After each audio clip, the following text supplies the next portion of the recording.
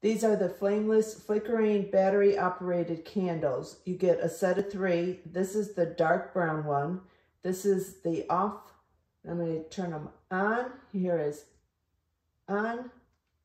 Let me do that again because they usually all come on at the same time. That's on. Now if I push candle,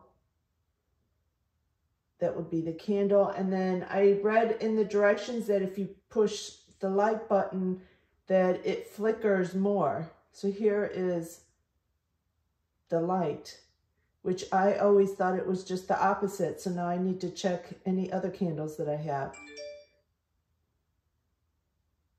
They have timer for two hours, four hours, six hours, and eight hours. You can also dim or brighten the light. So here I'm going to dim them.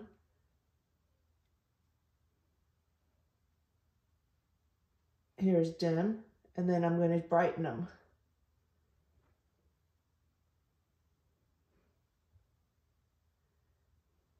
They're really nice. It is not glass.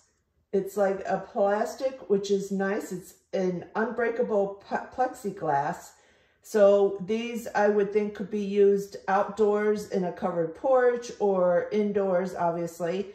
But they look really nice and I think you would enjoy them if you get yourself a set.